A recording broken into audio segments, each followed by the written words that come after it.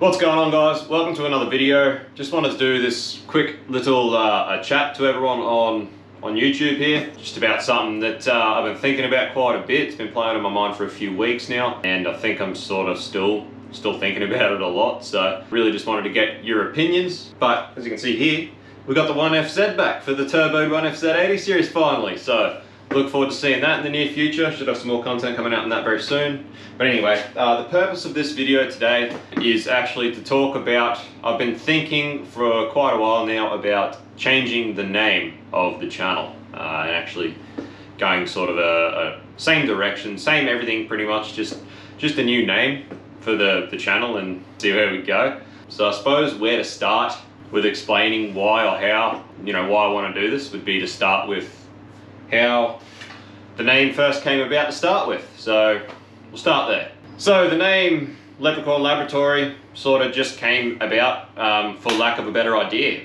at the end of the day. That's pretty much the only reason it really came about.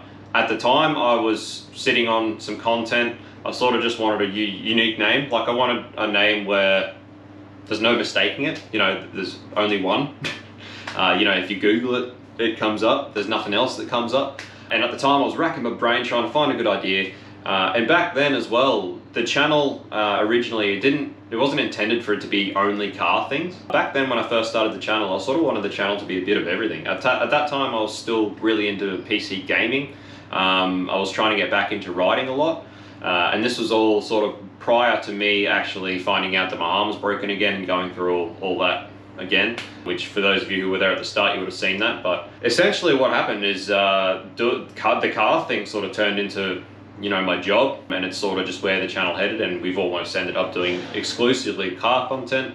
I still have other stuff I want to do along the way, but for the most part, it's, it's just car content. We've ended up starting the business and it's gone this way. You've all been along for the ride. So to start with, it wasn't meant to be just cars. And so I wanted a name that would sort of resonate for, for anything. And pretty much you know, we're, we're of Irish heritage, so Leprechaun Laboratory came about, and um, as whack as it was, I didn't really care. I still, on some levels, really don't care, but I just figured, you know, the, the channel will make the name, the name doesn't make the channel. Lep Lads was unique, Leprechaun Laboratory was unique, uh, no one else had it. I couldn't, you know, you Google it, you couldn't find anything, so I was like, screw it, I'll take that. And I was in a sort of a rush at the time because I had a lot of content I wanted to get at, but I wanted to start the channel under a good name.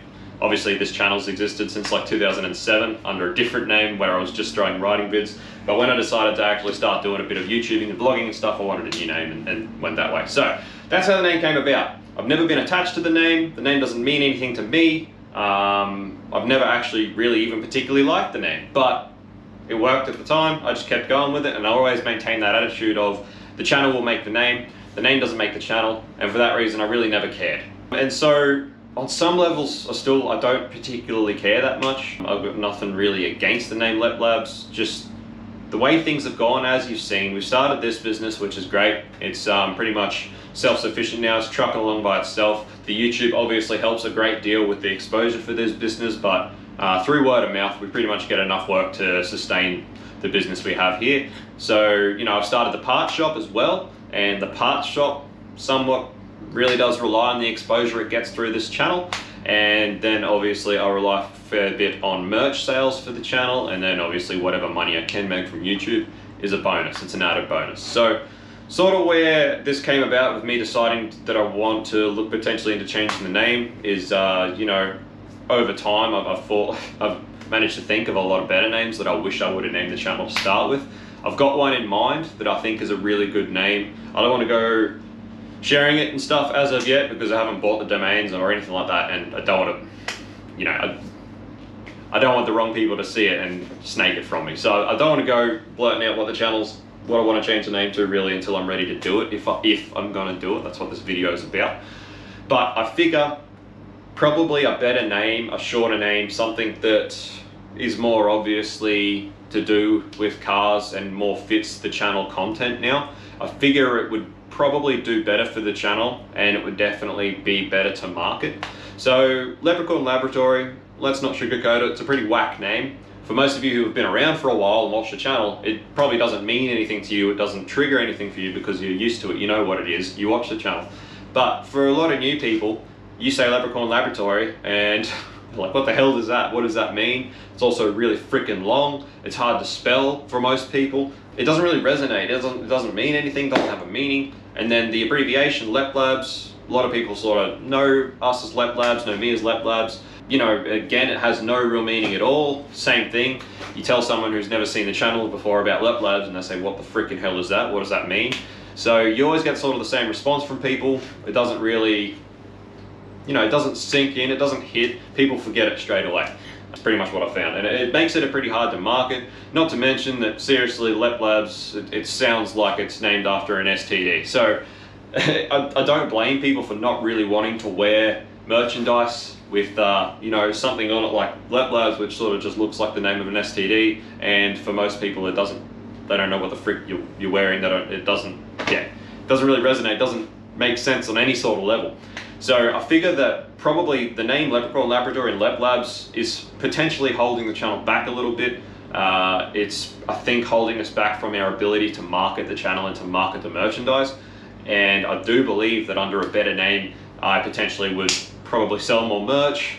It doesn't help that I'm not very creative. So, uh, you know, I'm hoping to get to a point where I can actually start paying for some decent designs for merch, but I'm very, very not very good at graphic design or anything of the sorts. So my apologies for that, guys. But basically what I'm getting at is I reckon that this new name or a new name change would allow me to market the channel better. I think it would allow me to sell more merch and I think overall it would propel the channel better to what I want to do. You know, I think it'd give us a bit more of a solidified uh, grounding in, in, I suppose, the scene as far as, you know, a name that sort of has a bit more to do with what we're actually doing here. So I know a lot of people have wanted me just to call the YouTube channel the the business OnSong Performance. I guess it makes sense on some levels, again, seeing as for the past 12 months especially, this channel has pretty much only become filming what we do here.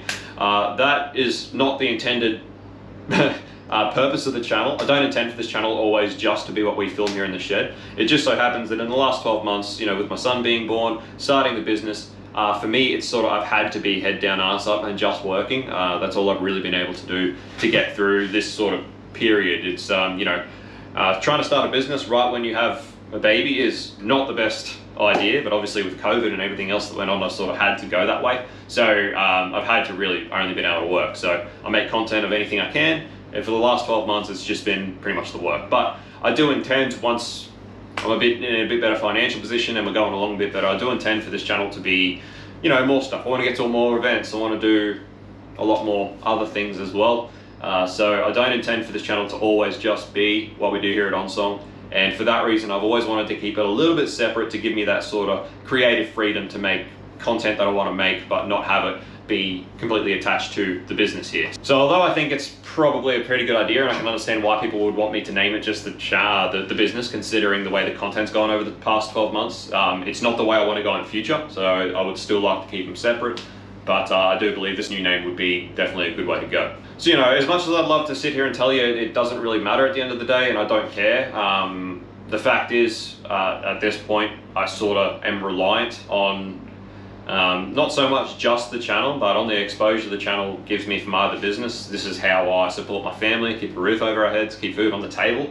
So on some level, I really do have to think of this as, you know, from a business perspective, I need this to work out and I sort of need it to do better. Uh, you know, while I've been sick, I've had a lot of time to think about the content. Uh, I'm really going to put a lot more effort into um, the content in the coming couple of months. I think I've sort of I've done a lot of uh, reflection and watching other people's channels and stuff like that while I've been ill. And I've sort of really been able to see, I think, where I've been putting too much energy where I shouldn't be and where I've not been putting enough energy where I should be. And I think over the next couple of months, I'll really be able to revive this content and um, really bring it back from sort of where it is, which is where I think it was probably a bit stale. Uh, and like I've always said, for the for the actual projects and the actual work we do, there is no reason that what we do wouldn't do very well in YouTube. It's just a matter of me making sure the content is up to par uh, of of the building or the builds that we do. So basically, we've had a bit of a restructure lately of the business. We're moving sort of everything under one roof, so you call it. It's a pretty good opportunity now for me to maybe try this new name change, take it in a new direction, try and do better, really. Um, hopefully try and sell a bit more merch and do a bit better for myself and hopefully sort of propel this channel a little bit sort of further. Not not that I'm upset or at all with how it's gone over the past 12 months. The growth over the past 12 months, considering how I feel like the content has been, uh, has been amazing. It's been really good, but I know that I can do better. So now that we're sort of trucking along here at OnSong Performance pretty well, you know, making enough wage that I can support myself enough, I can really feel like I can put a bit more energy now into the content over the next couple of months and and try and make it happen. And we've got some pretty cool builds coming up and stuff. So I feel like it's probably a pretty good time fairly soon to do this this name change. Um, as much of a pain as I know it's going to be to change everything, I know it's going to be easier sooner than ra- rather than later. You know, it's something that I've been thinking about for a while, and I figure if I'm going to do it, it's going to be easier the sooner I do it. Is pretty much where I'm at. So, obviously, Lep Labs will never be forgotten. I'd probably still sell a couple of shirts for Lep Labs for anyone who was interested. Uh, and you know, it's it's always going to be where it started. It's always going to be a very big part of it but I just feel like it's limiting our ability to market and um, sell merch and that sort of thing. So that's pretty much where I'm at. That's what I wanted to make this video about. I want to know your opinions. Do you believe it would do better? It, it, again, like I was saying, it's hard for people who have been watching the channel for a really long time because to you guys, you know what Lep Labs is. So, you know, someone says Lep Labs or Leprechaun Laboratory, you know what it is straight away. Uh, but it's pretty much for the for the greater audience or the people I'm trying to reach, the new audience, and also for people who want to buy merch. I feel like a new name would be better suited to, to both those things. So uh, I just wanted your guys' opinions, what you think, whether you think it's worth going through with it. Obviously, you guys are the people who watch the content, so I do value your opinion. So that's pretty much what I wanted to make this video about was, what do you guys think? Do you reckon we should go change the name, or do you reckon we should just keep going with Lep Labs and hope that the channel does well enough to carry the name to a point where it is recognizable? I, I don't know. I don't know what way to go about it. I'm sort of pretty stuck on it. I really do not particularly like the name, um, and I really do think that this this new idea that I've got for a name would do better. So, yeah, that's where we're at. On the subject of pretty much the content over the past couple of months, I think basically my biggest shortfalling is that I don't put enough uh, effort and time into editing. And I think the biggest problem with that is because I edit when I get home from work. So I go to work and I put a lot of effort into filming, which means I always am thinking about filming. I think I over overthink it a lot. I end up over explaining. I end up repeating myself, and I think it makes the content very hard to watch. and then I go home and I'm editing at home while you know I'm at home with the family. So I'm trying to smash through. I'm trying to rush it. I've got distractions, so I'm not putting that much effort into it. I'm smashing it together, and basically most of that of me repeating myself and what's happening is slipping through the cracks in the editing process. And I think that's pretty much what I was talking about, where I think I'm putting too much effort into trying to film too much or explain too much, and not enough effort into trying to edit in a way that uh, makes the content easy to watch uh, or easy to consume. So that's what I'm really going to try and work on. I really want to set myself up an office somewhere. I'm at the point with OnSong Performance and with the shop as well that I sort of need an office at this point. So my plan is to try and set up an office. I'm going to try and stop overthinking, explaining the content too much and try and, again, do more visual explanation, explain through the, the filmography rather than just me yapping like I am right now. And I want to start trying to edit before I go home. So try and edit in the office where I've got no distractions. I can actually put a lot of effort in um, try and get that done before I go home. And obviously, biggest thing is to stop. I'm going to stop trying to put pressure on myself to get heaps of content out. For a long time there, I was trying to do like four or five videos a week. I'm going to try and get away from that. I'm going to try and put more effort into trying to do maybe two videos a week. Um, you know, I'd rather do quality over quantity is what I'm getting at. I had um, Broken Sylvia actually, we're in a, a group chat of YouTubers. He, he said something uh, a little while ago that really, really resonated with me. And he was pretty much saying that you need to offer content that has value to the viewer. And there's basically three things, uh, and that's either you know knowledge or information, um, entertainment, um, or inspiration. So, and those that what he said there, it really resonated with me, um, and I think that that's really a big shortfalling with where the content's been the past 12 months, where uh, it's just me. Rex sort of took a step back because he didn't really, he got sick of being on YouTube, um, trying to drag it back into a cricket and screaming. So, but for a long time it was just me in the shed. So your entertainment's sort of out of it because, you know, I've got no one really to, to bounce off. There's no back and forth. There's not really any banter. Uh, I do find always videos where I am with other people and there is banter to do better because there is more entertainment. But for the most part, when it's just me like this, there's not a lot of entertainment value. The information value is there. Uh, but again, I usually overthink it, over explain it, repeat myself like I've just done now. and a lot of the stuff that I've been filming in the workshop lately, uh, for the past 12 months, has just been stuff over and over again. You know, it's, it's another tune, we're having another fuel pressure issue, we're having another, you know, it's, it's the same stuff you've already watched. So it's getting stale in that regard as well. And inspiration, I've found that it's probably pretty hard to, to develop inspiration from us doing customer work. Um, I, I feel like I offered a lot more inspiration back before we started the business when I was building my own cars with, uh, you know, trying to do really budget builds out of the shed. It's a lot of stuff that could inspire viewers to do it themselves because most of it's stuff that they can achieve themselves. So basically, I'm focusing on these three things over the next couple of months, making sure that we have some entertainment value, or if not, there is at least some good information value that is presented in a really good way that's easy to watch and easy to understand. And hopefully, over doing some of our own builds over the next couple of weeks, things like the the Barra VS and stuff that's coming up. Um, hopefully, we can uh, you know offer a little bit of inspiration to the viewer as well. So that's where I think the shortfallings for the content has been. Like I said, we've got some pretty cool builds lined up. There's no reason these builds wouldn't do really well on YouTube. I just got to make sure that the content is up to par and I'm really putting the effort in there. So I feel like if I could you know rebrand pretty much start from scratch. Like I said, we're going to move all the businesses under one roof, me and Rex, make it a bit easier for ourselves to follow, you know, to keep track of everything and do everything.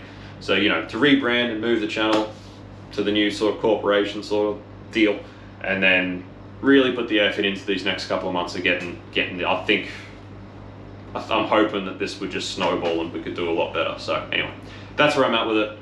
I'm sorry that this has been exactly what I just talked about, a video that doesn't really offer much in the way of those three things.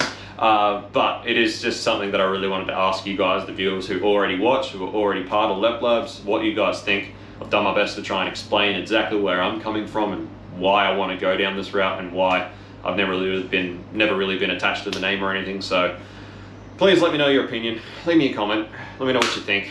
Thank you so much for watching. Thank you so much for putting up with my babbling all the time.